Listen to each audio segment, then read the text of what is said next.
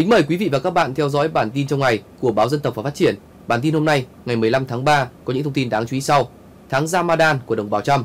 Hơn 200 người ngộ độc cơm gà ở Khánh Hòa, Bộ Y tế yêu cầu xác minh làm rõ nguyên nhân, công khai kết quả. Cốm cổ Sa Huỳnh hồi sinh.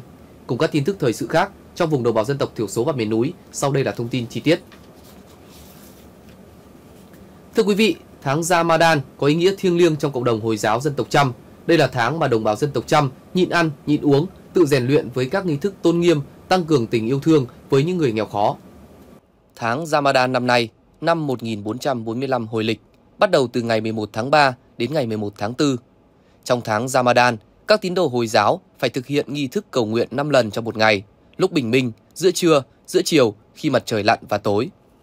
Trong thời gian này, tất cả nam nữ từ 15 tuổi trở lên phải nhịn ăn, nhịn uống vào ban ngày, nhưng ăn vào ban đêm. Ngoài nhịn ăn, uống, các tín đồ dân tộc Chăm Islam còn không uống rượu, bia, không cờ bạc, không sát hại sinh vật để rèn luyện phẩm chất, nhân cách, thêm yêu thương những người nghèo khó.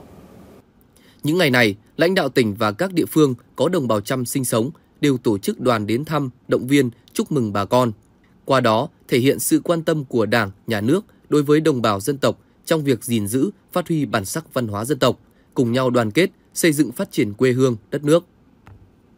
Bộ Giáo dục và Đào tạo dự kiến tổ chức thi tốt nghiệp trung học phổ thông năm 2024 vào ngày 21-22 tháng 6 hoặc sau đó một tuần xét tuyển đại học sớm hơn năm 2023. Theo kế hoạch được vụ Giáo dục Đại học xây dựng, phương án 1, thời gian thi tốt nghiệp trung học phổ thông vào ngày 21 đến ngày 22 tháng 6.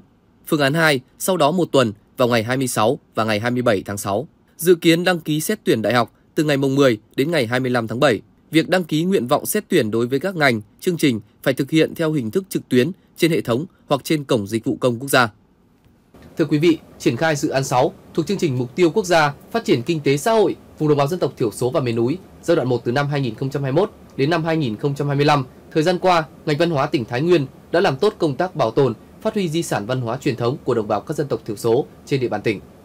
Một số di sản văn hóa đã được ngành văn hóa siêu tầm, phục dựng, tiêu biểu như bảo tồn, phục dựng phát huy lễ hội gầu tàu của dân tộc Mông huyện Phú Lương, di sản hát du của người Nùng Phan Sling ở xóm La Đùm, xã Văn Hán, huyện Đông Hỷ, nghi lễ cầu an của người Tày ở xã Nghinh Tường, huyện Võ Nhai, lễ tơ hồng của người Giao Lô Gang ở xóm Na Bả, xã Phương Giao, huyện Võ Nhai. Năm 2024, ngành văn hóa tỉnh Thái Nguyên sẽ tiếp tục triển khai, bảo tồn, phát huy các di sản văn hóa truyền thống tốt đẹp của đồng bào dân tộc thiểu số. Lễ khai mạc Ngày hội Văn hóa Thể thao các dân tộc huyện Đắk Song lần thứ 3 vừa diễn ra tối ngày 14 tháng 3 tại quảng trường huyện Đắk Song, tỉnh Đắk Nông. Tại đây, nghi lễ sum họp cộng đồng đã được phục dựng. Để chuẩn bị cho nghi lễ, trước ngày hội, bà con nhân dân đã cùng nhau dựng cây nêu lớn để thông tin và mời gọi các thần linh, cầu cho mưa thuận gió hòa, mùa màng bội thu. Mở đầu nghi lễ, đội chiêng gồm các nghệ nhân diễn tấu những bài chiêng chào đón khách. Các nam thanh, nữ tú nắm tay ca hát, nhảy múa vòng tròn quanh cây nêu. Sau nghi lễ cung tế, gia làng bắt đầu khai chén rượu cần để chúc mừng ngày hội. Ngày hội là dịp để tôn vinh những giá trị văn hóa truyền thống tốt đẹp của đồng bào các dân tộc huyện Đắk Song. Đây cũng là hoạt động hướng tới chào mừng kỷ niệm 20 năm ngày tái lập tỉnh Đắk Nông. Thưa quý vị, liên quan đến vụ hơn 200 người bị ngộ độc thực phẩm nghi liên quan đến quán cơm gà tại Nha Trang, Bộ Y tế yêu cầu tạm đình chỉ cơ sở, điều tra và công khai nguyên nhân. Cục An toàn thực phẩm Bộ Y tế vừa có văn bản chỉ đạo khẩn trương điều trị cho bệnh nhân và tổ chức điều tra xác minh rõ nguyên nhân vụ ngộ độc thực phẩm tại quán cơm gà Trâm Anh, thành phố Nha Trang, tỉnh Khánh Hòa. Theo báo cáo ban đầu của Sở Y tế Khánh Hòa, từ ngày 12 đến chiều ngày 14 tháng 3, tổng số ca nghi bị ngộ độc thực phẩm liên quan đến quán cơm gà Trâm Anh đến khám và điều trị tại các bệnh viện là 222 ca. Trong đó có 157 ca nhập viện và điều trị nội trú, đã xuất viện 2 ca, hiện còn 155 ca. Có 12 cơ sở y tế trong tỉnh tiếp nhận điều trị các bệnh nhân.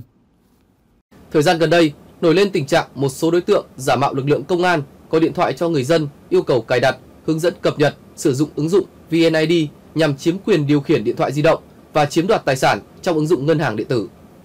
Tại một số địa phương đã ghi nhận trường hợp người dân bị lừa đảo. Theo đó, đối tượng đã tạo phần mềm tài khoản VNID giả mạo, sau đó giả danh công an yêu cầu người dân cài đặt.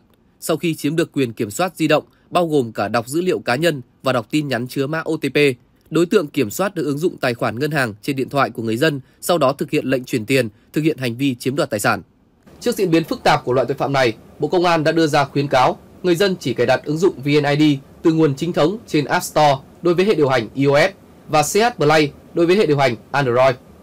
Tuyệt đối không cài đặt ứng dụng VNID từ nguồn ngoài trên các trang web, kho ứng dụng không chính thống, từ các đường link lạ và việc cập nhật, sửa đổi thông tin công dân phải đến trực tiếp cơ quan công an. Quảng Ngãi được xem là cái nôi của văn hóa Sa Huỳnh. Đối với cư dân Sa Huỳnh, đồ gốm đóng vai trò quan trọng trong cuộc sống hàng ngày và sinh hoạt tâm linh. Chính vì thế, gốm Sa Huỳnh đã có một thời vàng son phát triển rực rỡ. Trải qua hàng ngàn năm, nghề gốm cổ Sa Huỳnh lụi dần và có nguy cơ bị mai một. Để bảo tồn truyền thống của cha ông, chính quyền địa phương cùng những người thợ làm gốm yêu nghề đã cố gắng níu giữ nhằm phục dựng và hồi sinh dòng gốm cổ. Đánh dấu cho sự hồi sinh của gốm cổ Sa Huỳnh là việc thành lập Hợp tác xã gốm tiền sử Sa Huỳnh vào cuối tháng 11 năm 2023.